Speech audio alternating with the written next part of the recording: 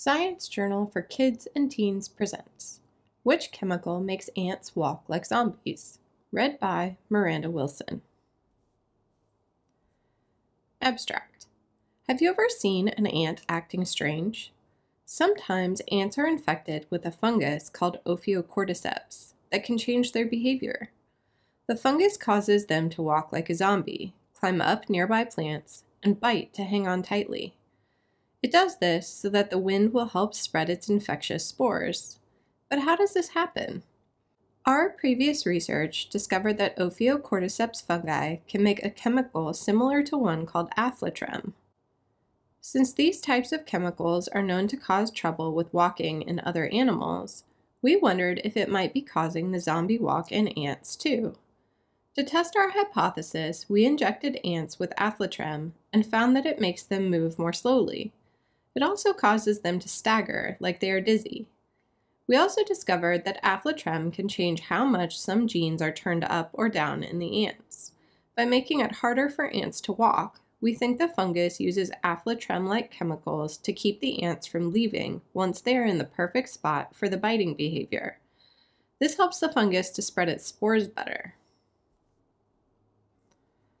Introduction Imagine an ant suddenly starts acting weird.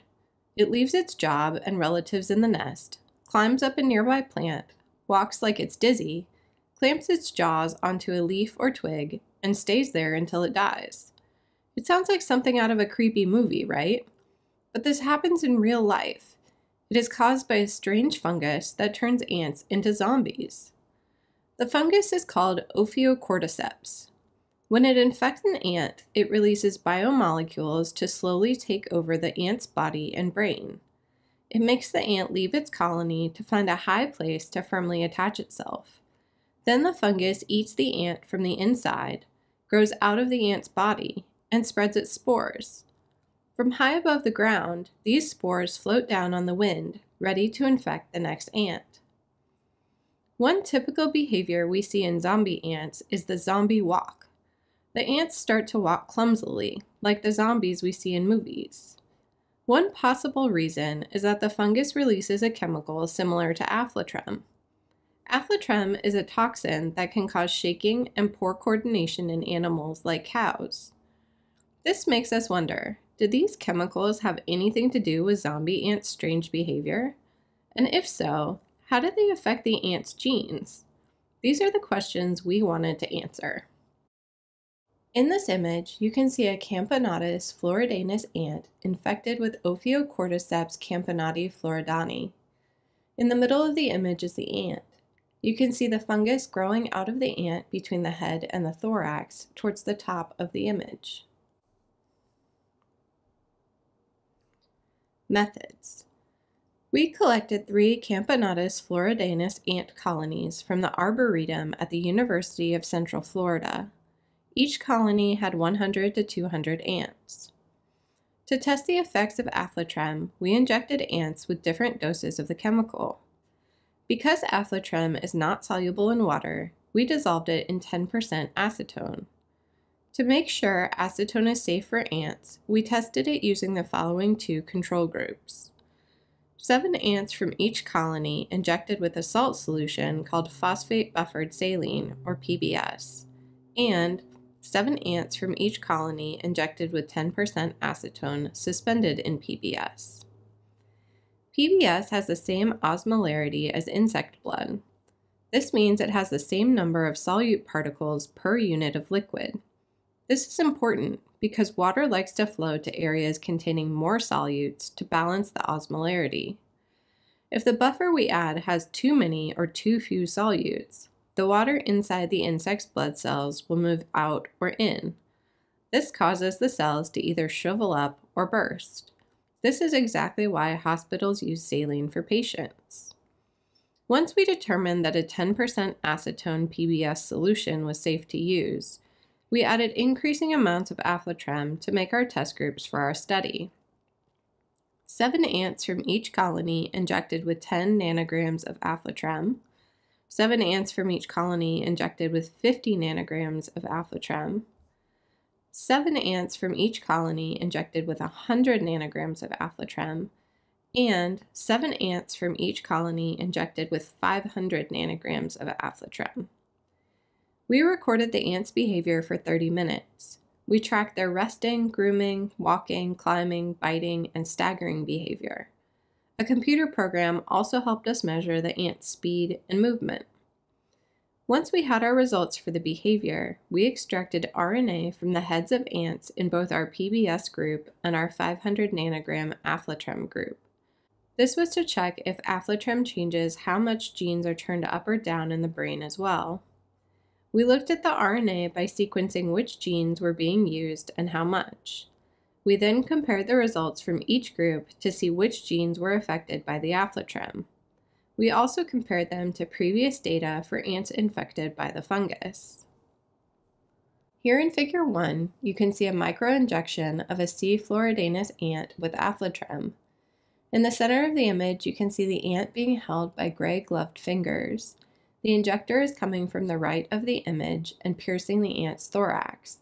The microinjector looks like a glass tube. Results. So how did different doses of aflatoxin affect the ant's behavior? The more aflatoxin the ants got, the more time they spent resting. As the amount of aflatoxin increased, the ants moved more slowly. More aflatoxin did not affect the distance the ants traveled. And ants that received higher doses of aflatoxin staggered more as they walked. Plus, we found that 261 genes were turned up or down in the ants that got aflatoxin. Some of these genes control muscle contractions and how signals travel between muscles and the brain. Others are responsible for the ant's sense of smell and communication.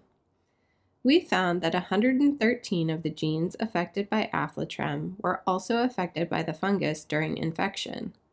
Some genes, like those for smell and muscle function, were affected in similar ways. Others were affected in different ways. Here in Figure 2, you can see the percentage of different behaviors observed with an increasing amount of aflatoxin in the injections.